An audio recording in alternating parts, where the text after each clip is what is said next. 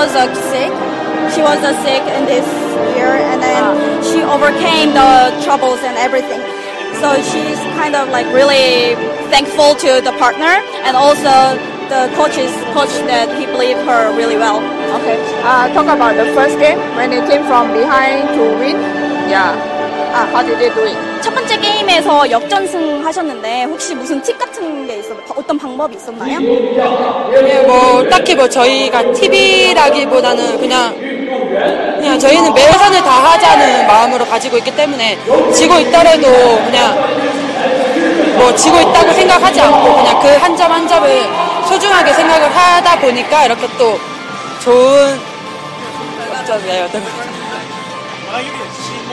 um, there was a no stretchy to the something, Yeah. but every time they are playing the badminton, they are really enjoying about it, and also um, they feel like all the grades they earn is really special, and then so they can get a good result about it.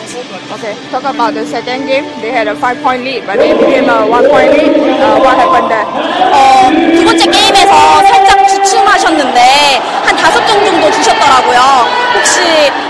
팀이 잘해서 그랬는지 아니면 좀 약간 긴장해서 그랬는지 저희 둘이 스타일상 항상 잘 풀어가다가도 막 점수를 한 번에 많이 주는 경우가 되게 많거든요. 그거를 최대한 줄이려고 노력은 하고 있는데 이번에도 어김없이 그런 실수가 많이 나왔던 것 같아요. uh, their style is kind of like uh, if they mi- if they once they mistake, they always give like many grades for the other uh, the other team, yeah, openers.